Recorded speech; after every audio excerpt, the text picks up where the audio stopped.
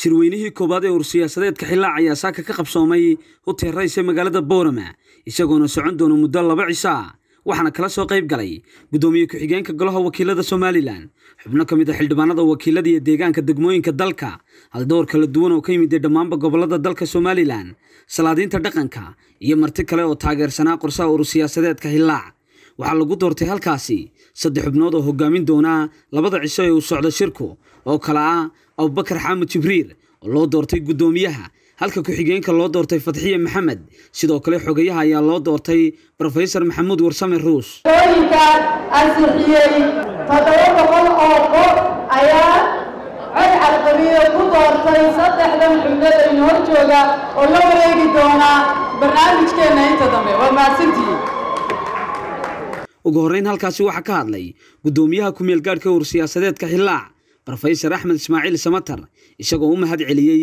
ergadii kala duwaneed ee kala soo qayb galay munaasibadda maanta. Markaa ree xillaac haddaannu nahay waxaannu doonaynaa inaannu ku ballanqaadno wanaagga waddanka yaalla ee la qabsaday in la ilaaliyo oo la kaydiyo. Ta labaad ee aannu u taagannahay waxa weeye waddankani isbeddel xoog leh ayuu u baahan yahay taana waannu u dhaarsannahay inaannu wax badan waddankan ka beddelno haddii kalsoonnida aannu idinka idinka helno iyo jamhuuriyadda somalilan inta kale ee ku nool. Marka waxaannu u taagannahay aan ku celiyo in wax la kaydiyo oo khayr kala yaallo waddanka la kaydiyo iyo wixii la qabsaday soddonkaas sannadood iyo googo'aas. Beddel badanna waddankan laga sameeyo. Beddel badan oon ka hadli doonno maanta iyo iyo berriba waxaan hadalkayga ku soo gebagabaynayaa mar labaad. Aad iyo aad ayaan dhammaantiinba idinku mahadnaqayaa. Intaa kadib munaasibaddu qaabkani ayay u dhacday. Inta miisaaniyad ama inta waxaynu haysano inaanu uga dhalinno beerihii maalgashiyadii kalluunka soo celintii iyo noolayntii lagistooga waxaynu u baahannahay wixii ka dambeeya iminka inaynu fahanno oynu isku aqoonsanno inaynu nahay dad u baahan in waxoodii loo maamulo iyadoo loo raacaya aqoonta. Allah maxaa howlanay hadha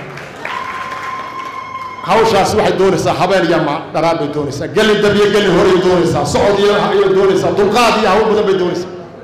Hillaac waxaan ilahay hambaliyo haddii aanu nahay reer gabiiley axmed ismaaciil sabatar. Sidaasaanu sidnaa shirarka iyo xafladaha aynu isugu nimaadno in ka badan oo socod iyo tacab badan la gelin doono. Muddada taagannahay gobolkan codkiisa ku fadhiyay gobolka gabriina waxaan leeyahay hawl gaara ayaa idiin taalla. Waa nin waxay soddonka sanno ciidan la haysay macno ka keeni kara. Waa nin waxa somalilantu doonaysa macnayn kara.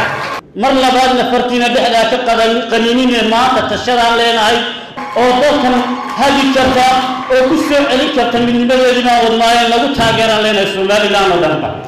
Abti waxaan ku leeyahay guushu waa xaggaaga ree odagoo ku turtuunsada warrey somalilan oo ku turtuunsada aqoonta iyo waayo aragnimada ku turtuunsada hollahana ururkani door weyn buu siiyey. Hablaha waa la eegaya ama xagga raggay u badan oo sidoodii bay halkaa u dhurani.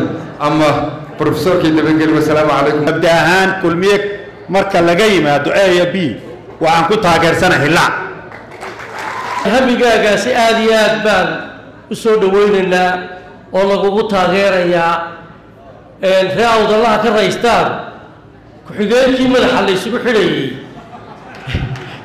suxufi cisqi mm t v magaalada booram ee xarunta gobolka awdal